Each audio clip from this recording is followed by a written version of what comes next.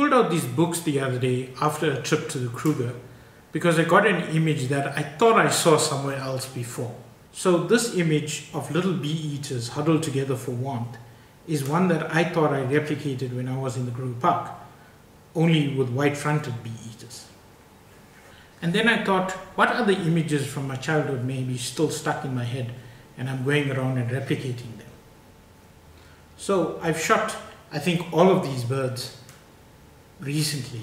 The carmine bee eater, the ground hornbill, uh, lilac-breasted roller, white-fronted bee eater, and even this vulture. Last year, I even got out to uh, Lambert's Bay and the gannet colony and actually saw these Cape gannets with my own eyes as well. And of course, the unforgettable Kalahari Transfrontier National Park and the wide expanses of the Nossob River. Windmills in the Groot Karoo, or the Great Karoo. I've got a picture at night of a windmill uh, with the stars above it. And of course the Valley of Desolation um, looking out uh, into the Eastern Cape. This picture of bearded vultures in Giant's Castle in the Drakensberg doesn't do them justice and I've got a better one. And what they call the dragon's tooth. Um, again, I was up there just um, a few months ago to the top of this plateau, um, the highest waterfall in the world now.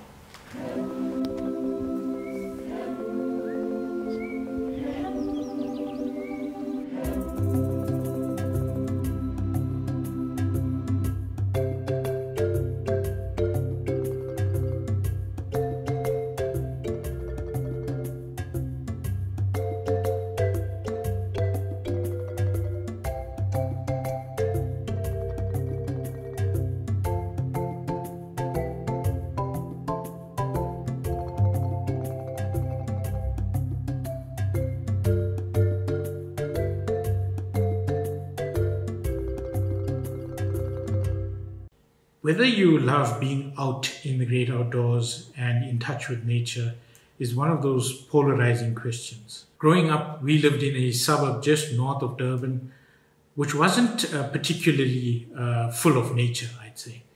Um, we played in the odd stream, uh, you know, on the way back home from school, and we'd explore our backyard, which was quite uh, full of shale.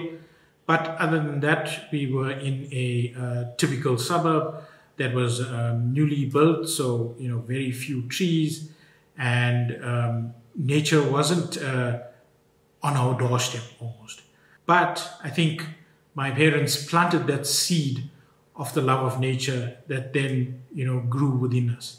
So they would take us to the Natural History Museum every second Saturday uh, without fail my dad would take us uh, to the beach after work and we and uh, we'd watch him fish and uh, you know we'd explore the little tidal pools and the uh, surf zone uh, looking for sea lice and uh, you know any creatures we could find. Every um, sunday at five o'clock we knew that we had to be planted in front of this tv and watching nat geo documentaries and david attenborough almost became the voice of our childhood. I think I would have been between the ages of 10 or 12 when uh, my dad bought us this set of reference books, which made us uh, firstly fall in love with the natural history of South Africa. As you can see, it's um, one of the more used books of the series. And then also the scenic beauty um, that the country holds. And I didn't know how much it influenced me until you know I was an adult myself and started working. I came to appreciate the natural beauty um, that we are blessed with here in South Africa a little bit more in my late 20s, I would say. I was uh, working as an engineer and I was earning my own uh, money so I could uh, start taking up a hobby in photography. And once I got into photography as a whole, I found that I loved uh, wildlife and uh, landscape photography. So I started uh, doing more trips to travel around the country and explore the wild and natural areas right on my doorstep. And then every trip back down to Durban was an opportunity to get out to the sea again and uh, you know watch the world come alive uh, as the sun woke it up. That was almost how I spent every holiday that I got, every chance or break that I got from working. And then what I started to realize uh, was that every time I um, got back to work, I would feel this um, heaviness about me. Where I was meant to feel refreshed, I almost felt remorse for returning um, to the rat race and getting back to the cycle that would then, you know, earn me more money so that I can go out and enjoy the beauties of my country again. For me, I think that began to weigh me down. So I felt like I had to break the cycle. To that end, in 2019, I began studying uh, towards a field guide qualification. And in September 2019, I was a qualified field guide, but still working in my corporate role. I had plans to step away, and then COVID hit.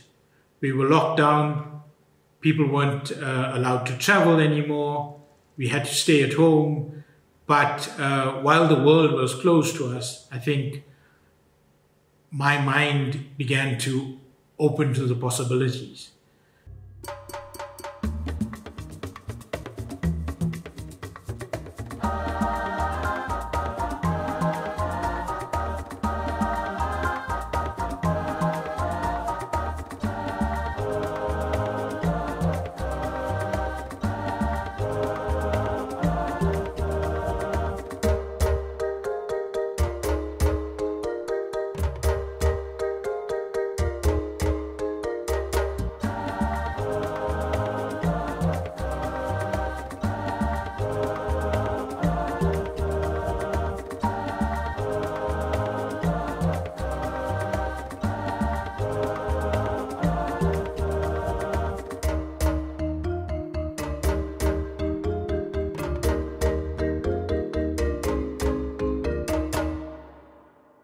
In July 2021, about 18 months into COVID 19, I think I had thought about it enough and I had seen enough.